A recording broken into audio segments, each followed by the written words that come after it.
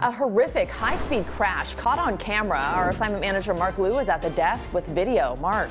Yeah, that's right, Rudabeh. We got security video that shows the entire crash as it happens, and incredibly right now, it looks like everyone is going to survive. Take a look at the video. It's from a security camera from a business uh, at Riverside and Ramona and Chino. Now watch the center of your screen as a white Ford Mustang comes speeding through and collides with a black SUV right in the middle of that intersection.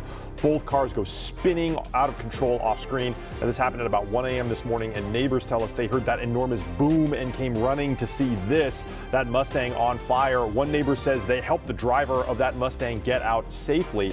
The other driver of the SUV was also able to get out as well, and the fire department says both drivers were taken to the hospital alive, but in unknown condition. Now, here at the desk, I've been calling a Chino PD for an update. They're the ones handling this investigation. Right now, there's no mention of any arrests from them, but they confirmed that both drivers here are recovering from non-life threatening injuries at the hospital. Pretty incredible. That is the very latest here from the desk. I'll send it back to you.